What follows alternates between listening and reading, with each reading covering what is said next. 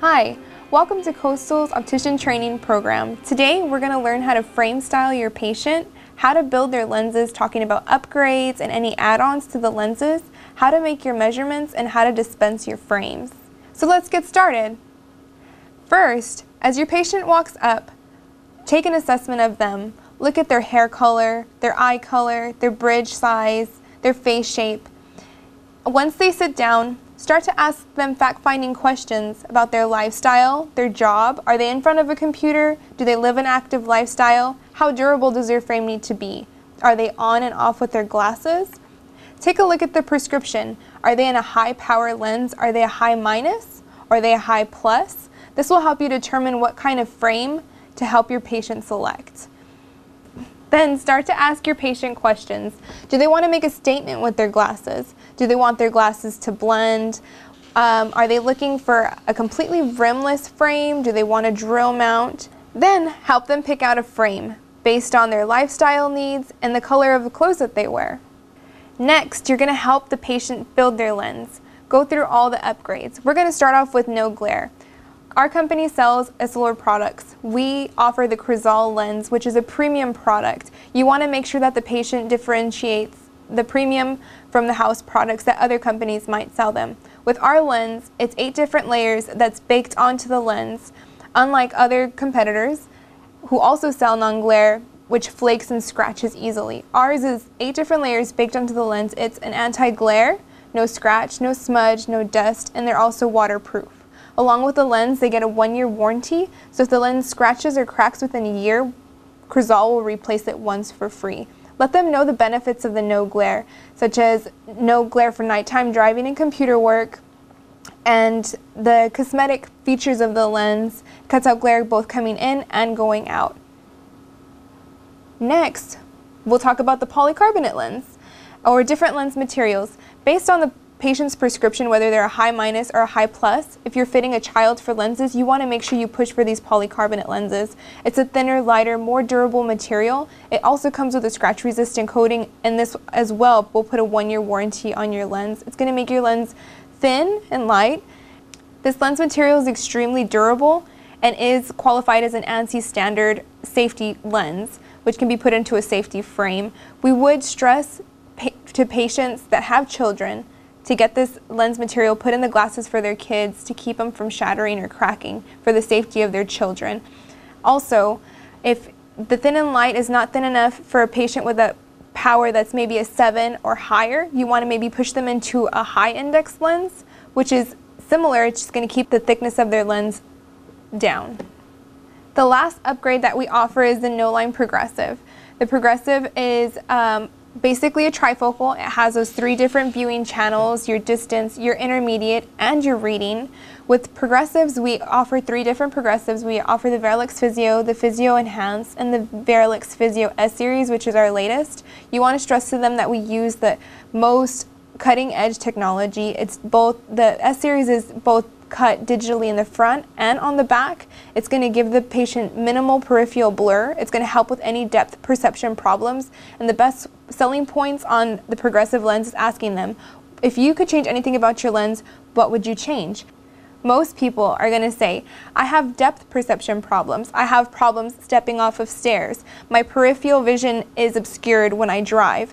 And the S-Series solves all the problems for this patient. You let the patient know that the S-Series is going to clear up all of these concerns. You'll have minimal peripheral blur. You won't have trouble with depth perception when you're stepping off of stairs. It does take a day or two for your patient to get adjusted, so let them know that. But this is the best lens on the market and it's way better than having a lined bifocal because the channels of their viewing channels are going to be way larger than a lined bifocal product. If you cannot get them into a Varilux S series, push for a Varilux Physio just let them know the benefits of having a progressive over the, just a traditional line bifocal or trifocal. The last one we have is a transition lenses. We offer three different transition lenses here at Coastal. We have the Transitions Traditional, Transitions Extra Active, and Transitions Vantage, which is a polarized lens. Let them know that the transitions don't change in the car. You want to sell a product to the patient that the patient needs and wants. So you let them know the difference between the traditional and the extra active. The extra active do get dark when you go behind a windshield. Because your lenses are activated by UV rays, patients are concerned that when they go into a room that has bright lights that they'll change to dark lenses. Let them know that they're activated by UV rays so they'll only change when they go outside. Here at Coastal, we offer 20% off of your second pair, so try to push to get your, your patient into sunwear. With polarized lenses, it cuts out any dangerous glare for long distance drivers. You would also this would also be an item of interest for any fishermen or hunters because it cuts out the glare on the top of the water.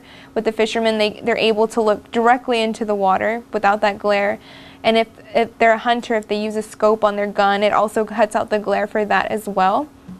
You want to push this polarized lens over a tinted lens because the tinted lens doesn't have the UV protection like the polarized lens will give them. So anybody that has an active lifestyle, you can put them in any kind of sports goggles, any kind of frame can be fitted with a polarized lens. You just want to make that available to your patient. And now we're going to learn about measuring the patient for their glasses. This measurement is extremely important because it allows you to know exactly where we need to put the optical center for the patient's lens.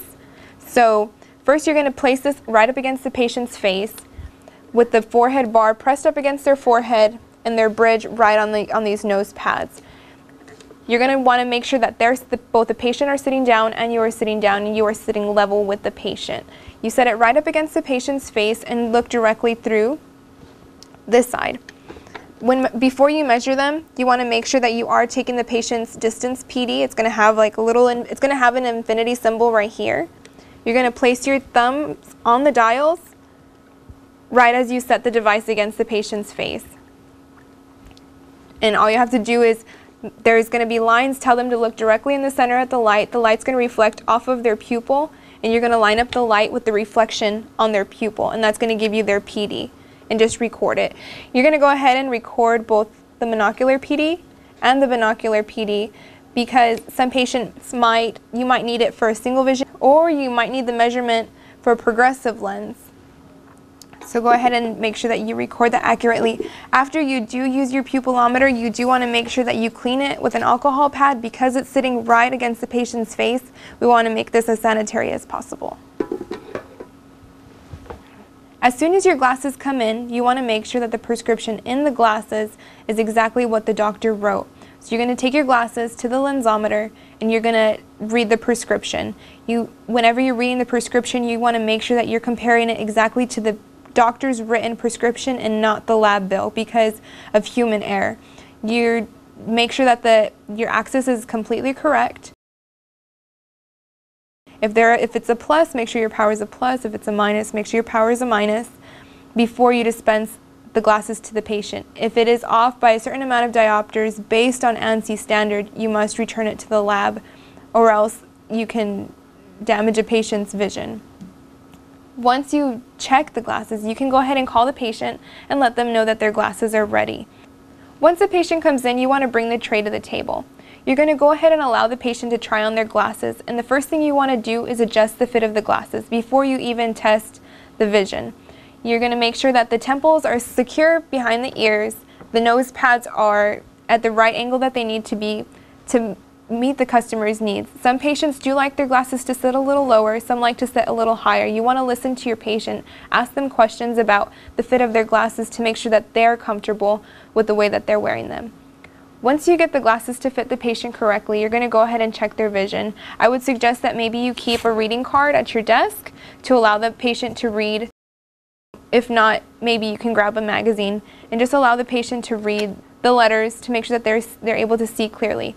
Some patients at first might have a little difficulty with their glasses. If it is something that they feel that will they, they will adjust to, go ahead and let them leave with their glasses. I would tell them to try it a day or two first time progressive wearers, anybody that's being put into a bifocal or a trifocal, you want to let them know that it might take a day or two for them to adjust to their prescription. If the patient's been out of prescription eyewear for a certain amount of time, you also want to let them know that it's going to take a day or two for their eyes to get adjusted to their glasses. Before the patient leaves, always make yourself available for adjustments or if the patient's having any problems with their vision, you want to make sure that the patient leaves comfortable and happy with the product that they bought because this is more than just retail. You want to make sure that the, the patient's happy with the prescription. Thank you for watching this training video. If you have any further questions, feel free to contact your supervisor. Thank you for watching.